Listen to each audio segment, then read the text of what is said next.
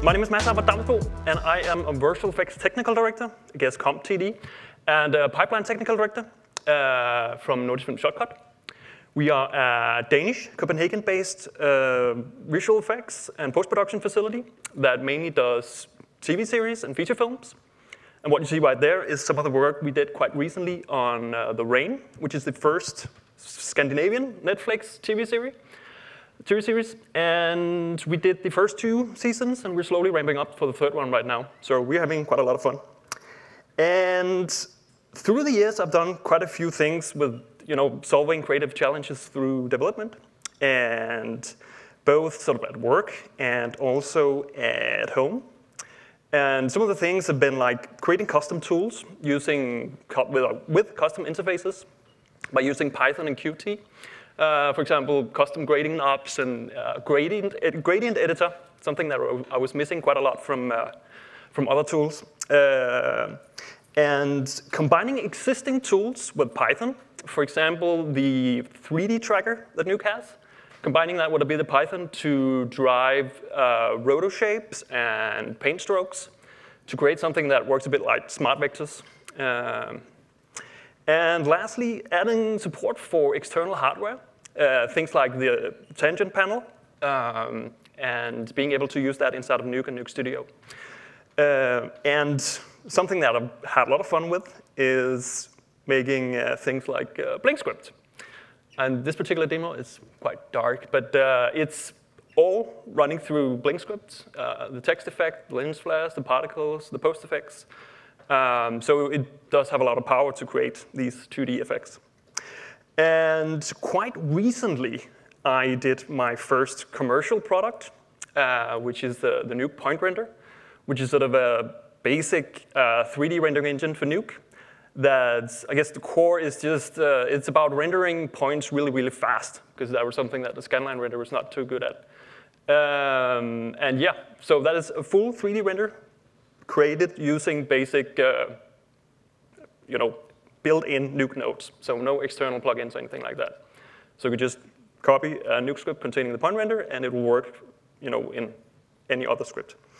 Um, so what is BlinkScript? Well, BlinkScript is a 2D image processing framework It's created by the Foundry.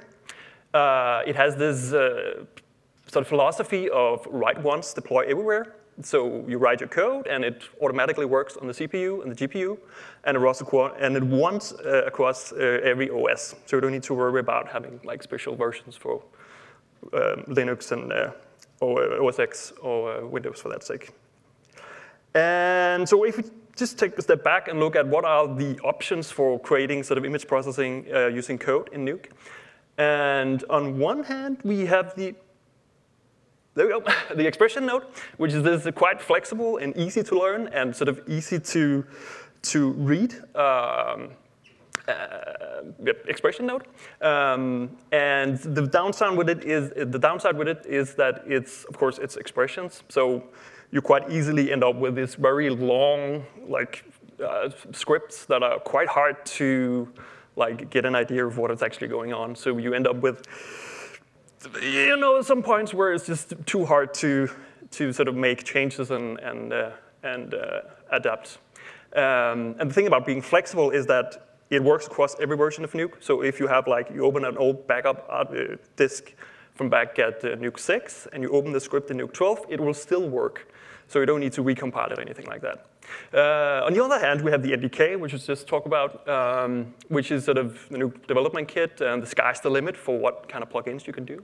Uh, you have nice debugging, um, but it's not necessarily as flexible because you know you have to restart Nuke every time, and also the fact that every time there's a new version of Nuke, you have to recompile all your tools, and sometimes they change something in the NDK, which means that you have to go in and change some of the code.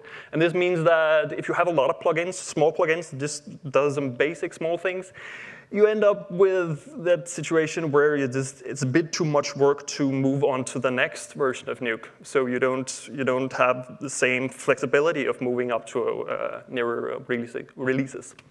And sort of in the middle there is the BlinkScript node, because this is sort of the built-in Nuke node. And it's powerful, it's flexible, it doesn't have the debugging, sadly, and it's harder to learn.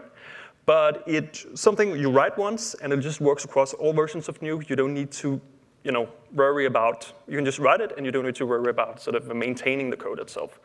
So, um, and the other thing is that it's quite good for prototyping. So if you're doing a lot of NDK development where you do some more advanced um, 2D effects, you can actually use Blink script to do the prototyping and then deploy that Blink script directly inside the NDK.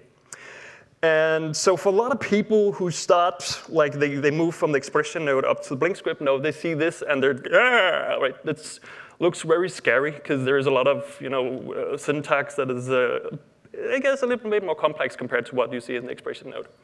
Um, but if we just you know, try to remove all the unnecessary parts and just look at what are some of the essential parts that are needed to, to get this thing to work. And you know, just a few lines of code. We can actually make it smaller than this, but this, uh, this is a good start.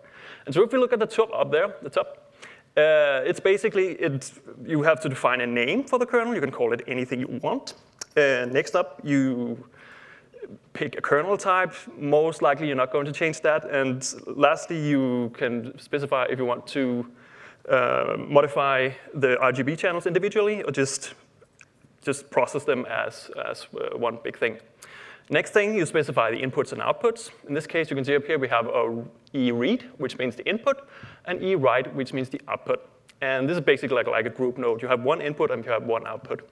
And we also have a thing like we can change the access point here. It specifies if you want to just read the pixel that you have, or if you want to access uh, pixels that are nearby, um, or any other random uh, pixel on the, uh, on the uh, input. And so we can also have multiple inputs that would look like this in a group node. Um, we can also have like just one output and no inputs. And that's basically like this. We cannot have multiple outputs because that's a constraint of Nuke. Uh, next up, we have our sliders. And one thing we have to know about sliders is that uh, Blink script is self-contained, meaning that we cannot access other nodes and other knobs from like other nodes, I guess. Uh, so this means that the only way that you can feed data into this system is using sliders or using your input images. So uh, you're going to use uh, sliders quite a lot.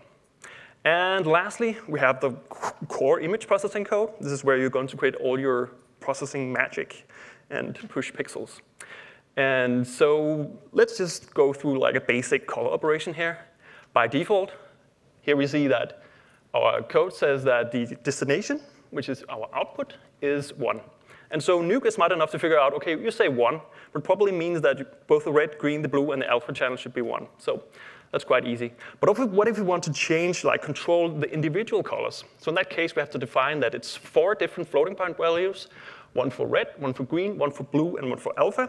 And so if we recompile this code, we get basically a green color. That's really nice. But what if our artist wants to be able to control this thing? Uh, they want to have like a new version of the constant node. So in this case, we add a new parameter, which is a constant color we call it.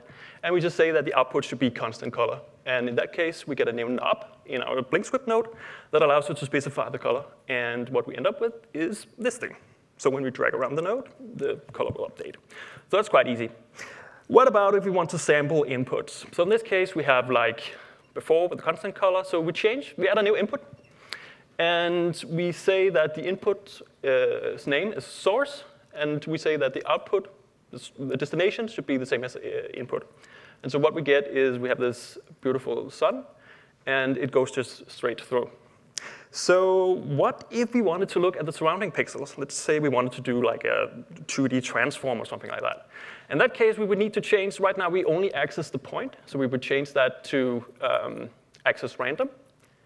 And we also, we can get the current position uh, in here using a variable called pos. And then we can just put that into our source. And so this basically just tells us that we read the the same as before, we read the sample position um, from the current position. If we add 100 to that, we basically just move the image, which we see before, after, before, after. And yeah. So we can also do bilinear. So if we need to like have 100.5 in this case, then we can sample uh, 100 and, 101, and then it does sort of a linear interpolation to create like some, uh, some uh, filtering. And let's do some basic distortion. Like this is a one-on-one, uh, one-on-one uh, plugin development here. So we just uh, need to add a custom distortion map. So we create some normals, and we add a new input, as we can see here up here. We call it displacement. And to get this thing to work, we need to create a new variable that contains our positions. So in this case, sample position. And then we need to sample the displacement at the current pixel. And lastly, we add the position onto our displacement position. And so what we end up with, I actually made a mistake here, but I'll show you that later. If we gain up the, the, the vector map we put in, we basically just get you know, a displacement, so quite easy. And of course, this should be no, it's actually good. No, never mind. Anyway, uh, and then multiple samples. Let's say we wanted to do something a little bit, you know, something that we couldn't do in the expression node. So in this case, we do something like adding a for loop, and we say that rather than just sampling this single point of the, the, the displacement, we sample from the origin and all the way to the final place of the displacement. And if we do that without any sort of variation, we get just a basic, I guess, blur or smearing. So if we add another texture on top of that, we get like some, some, uh, some bit of variation to, uh, to our final result. So what we do is we add a new input, and this is sort of a texture. And then we, uh, what did I do there? Oh yes, I added an output to contain, we're going to add a for loop, so I need to have sort of a place where I could store the final output. And then I basically do a for loop that runs 200 times. So this piece of code is being run 200 times. I have a bit of an issue right now because I define the displacement every time. So I just move that up. And uh, so rather than defining it inside the loop, I define it before the loop. And then I add to the input, uh, to the output. It started out being zero, and then just adding on top of that. And in the end, I get something that's just smearing effect. Um, if we could do something a bit more creative with it, we could, for example, change the source input to like some small points and change the texture to a lens flare where we cut it in half to create sort of a something that looks a bit like a particle system where you have like some, you know, you can see that it's kind of the lens flare that's cut in half. Um, yeah. So uh, that's like simple overview of some basic uh, Blink code. Yeah. So what else? We also have Blink script inside of Nuke Studio, and this allows us to create custom real-time soft effects. It's super nice. There are, um, you know, if you right-click your timeline item, you can just hit effects and create a Blink script node, and it works basically the same as the Blink script node you see inside Nuke. There are a few key differences, one of them being that you cannot do random access which means that you cannot do things like blurs and distortions and ST maps, which is of course quite unfortunate. But there is one key advantage to this, and that is the fact that it runs in real time. And this, of course, is a good thing because we need real-time playback in our timeline. Um, but there are also other cases where this can be quite useful. And so in the case of having like a blink script inside of Nuke, for example, a lens flare here, and every time I drag this lens flare around, nothing really happens until I let go of the mouse. In that case, it updates. So if I want to have like creative control over how this lens flare looks when it sort of hits the edge or like goes through the center of the image, then it becomes quite hard because I constantly have to move forward and backward or like maybe pre-bake some animation to, to figure out how it looks when it goes across that edge in contrast to uh, inside of um, Nuke Studio, where you can just take your center and just move it around. And this allows you to get, you know, this gives you that extra flexibility and extra creativity to, um, to control the look of how, how things, how things, uh, how things look. And so yeah, this is also just uh, script, all of it. Um, so one of the things that you get used to when you do a lot of Blink script work is that you have to think of data as images. Um, and a good example of that is, for example, if we have effects department and they do volumes, volumetrics, they do particles, they do fluids, and we somehow want to transfer that data into Nuke and be able to process it through our Blink script nodes. Um, and I mean, use OpenVDB? No, we cannot do that because first of all, Nuke doesn't support OpenVDB. Uh, and secondly, Blink script does only input images. So we cannot input voxel data if it even did support it. Um, so we cannot do that. What we could do is uh, this beautiful fluid simulation is created by Xavier Martin, is a FXTD at ILM, a good friend. And what we can do is that rather than outputting OpenVDB or uh, ABC for this uh, case, then we output an EXR map, EXR map. And so this EXR map contains a bunch of, like each particle is being represented by a pixel. And so in this case, we just have the color map. In another channel, we have the positions, and in another channel, we have the, for example, the velocities and things like that. And that means that we can basically take this, we can have Houdini render out an EXR stack containing each frame um, of our animation. Um, and then we can import that into Nuke and then use BlinkScript to read that. And if we apply a 3D, I mean, we get the 3D position there. So if we apply a 3D transformation matrix from our 3D positions, we can get the 2D positions, and then we can do uh, another uh, matrix transformation to get the, um, the, two, uh, the, to have add a camera transformation matrix to transform the, the um, to make it possible to add a camera. And in that case, we end up with something like this. And this is just rendered using BlinkScript. So the simulation is done in Houdini, and the render is directly inside BlinkScript. Um, so lastly, I'm just quickly going to glance over something. Uh, it is BlinkScript using the NDK. You can, of course, create uh, plugins uh, in the NDK that use BlinkScript. And why would you want to do that? Because you have the BlinkScript node. But there's a few cool uh, instances where you can do that. And Jerry, who is here today, um, Huxtable, who's actually the father of the Nuke particle system, created a quite cool example. And the same thing as before, we have the particles node, for example, and the particle nodes, we cannot add the blink script node to that because it's not images, it's particle stream. So what if we took the particle stream and inside NDK, we convert the particle stream or the particle attributes into a big image, so with things like position and velocities and color and rotation, and then we run that through a blink script, and then put all that data back into the, the particle stream. And what we end up with there is like this um, Blink script node that works with particles. So rather than just an image-based uh, Blink script, we have a particle-based uh, Blink script. And as you can see here, it actually uh, compiles in real time, which is quite cool. Um, so that is a really, really cool example of what you can use Blink script uh, to inside the NDK. So if you wanted to get started with uh, BlinkScript, um, there's not a lot of information, of course, since, I mean, it's proprietary, uh, it's the Foundry's um, uh, API. So, but you can go to the Foundry's documentation. There's a lot of quite cool examples, and I think it's quite good, uh, the documentation.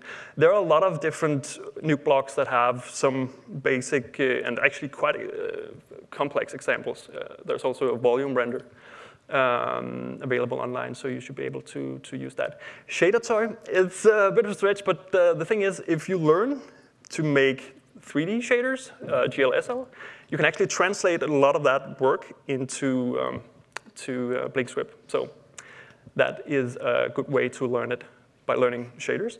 And lastly, uh, tomorrow at 3 p.m., I'm going to be at the Foundry booth. Uh, going to talk a lot about BlinkScript and show some really, really cool examples. So um, yeah we can talk there. So thank you.